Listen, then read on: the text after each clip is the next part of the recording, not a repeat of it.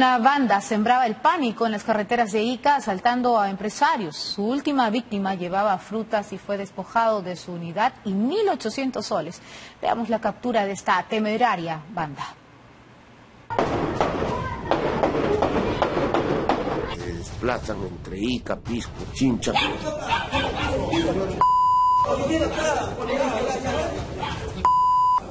Se graba o se hace grabar para someter a las víctimas. Conocidos videos virales que envían pues a personas que se dedican al rubro del transporte. Tres meses de zozobra. La Pampa de Ñoco en Chincha su escondite. Número de víctimas indeterminado. Si nacionales y extranjeros hacen esfuerzos en convivencia, otros se asocian para delinquir. Sus víctimas están en plena carretera. Empresarios y transportistas al acecho de mentes criminales. Y en juego, lo único que no se recupera, la vida. Su vitalidad de vida criminal es conocida en la zona, tiene un prontuario criminal, era sustraído de las autoridades toda vez de que siempre aprovechando que conoce el lugar se ponía buen recaudo. Sin embargo, ahora la Policía Nacional del Perú tiene una estrategia. El señor comandante general ha mandado personal especializado y los resultados están ahí. Desde aterradores estados en redes y videos en TikTok, así infundían miedo los injertos peruchamos del sur en las carreteras de Ica, descuido de empresarios o nula presencia policial. Su principal integrante ya está tras las rejas, su oscuro entorno ya es vigilado.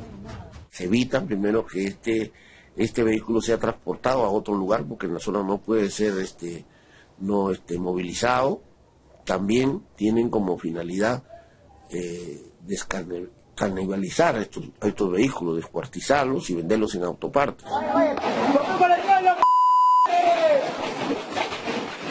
Cayó sin balas, derrotado.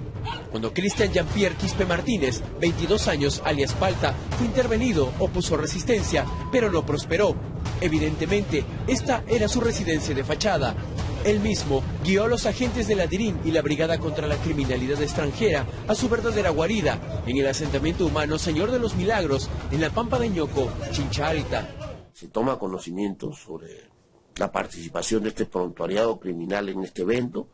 También en una caleta es intervenido, se recupera los medios probatorios, hay procedimientos especiales y su responsabilidad queda objetivamente demostrada con la incautación del vehículo en su caleta.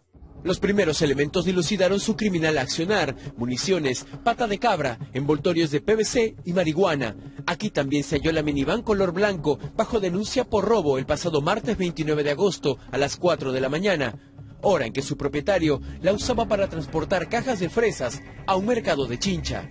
Uno de los detenidos en este momento no es quien provisto de arma de fuego, ¿no? lo asaltan y lo despojan de una de su, herramienta de trabajo, ¿no? que es una combi, una minivan, ¿no? para posteriormente quererlo someter a maniobras extorsivas. A través de unos aparatos tecnológicos incautados se establece que esta persona tiene como modalidad también cometer extorsiones. Palta o Paltita, como lo conocen, no era tan verde en el mundo de la extorsión y el crimen organizado. Las pistas en los desiertos de Ica, Pisco y Chincha eran su zona de atracos. La madrugada, el momento ideal para entrar en acción. Estas personas provistas de vehículos menores, ¿no?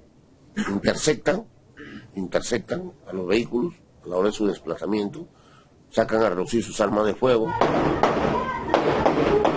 Criminalmente esa es su modalidad ya conocida o sea una moto lineal, en este caso una mototaxi, ¿no? que, que fácil se pasa desapercibida en la zona y es ahí donde estos irrecuperables pues dan rienda a sus bajos instintos. El empresario fue despojado de su unidad, el cargamento que llevaba y 1.800 soles producto del reparto y venta de fresas. Ahí no quedaba todo. Otras víctimas, incluso simples transportistas que habían identificado las unidades en las que se desplazaban, denunciaron recibir videos amenazantes.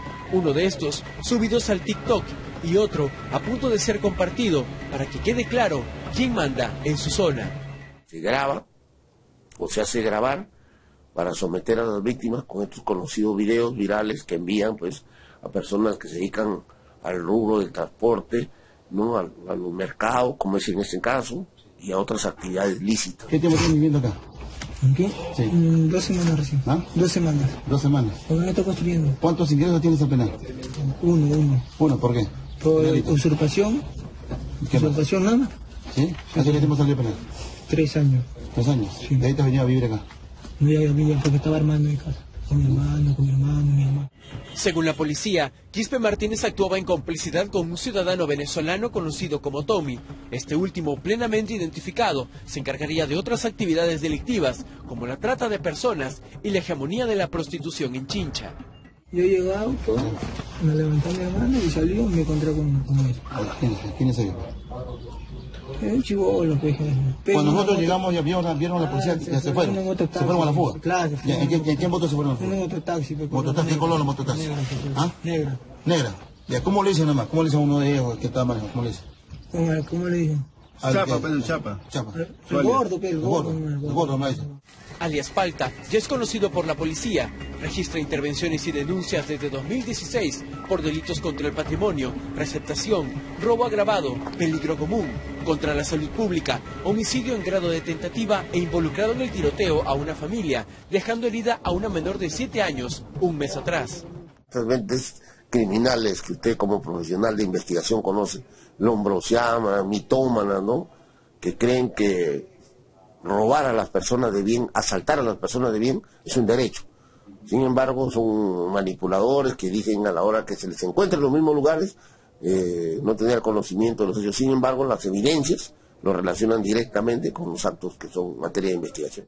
Nutrido de permanencia e independencias policiales y pruebas que la policía tiene listas para entregar a la fiscalía, Quispe Martínez seguirá tras las rejas y mientras esto ocurra, los empresarios podrán repartir sus productos.